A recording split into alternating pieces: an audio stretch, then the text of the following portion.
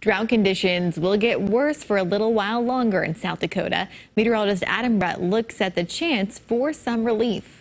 This winter really was not kind, with below average snow totals leading to below average moisture in the soil across much of KELOLAND. Help, however, may finally be on the way. This is not the start to the spring season that we've wanted, let alone needed. While a few areas have seen some help lately in the moisture department, the key phrase is a few. Widespread moisture has been rather tough to come by, and that can be seen on the latest drought monitor. Nearly 46% of South Dakota is under severe drought, with almost 70 75% of the state experiencing at least moderate drought.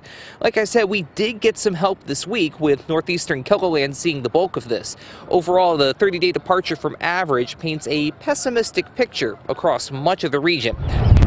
With that said, however, help is on the way. We get some rain to move in on Sunday before we watch the middle of next week very carefully. That latter chance could feature a little bit of everything across the region, and that phrase is meant to be taken literally.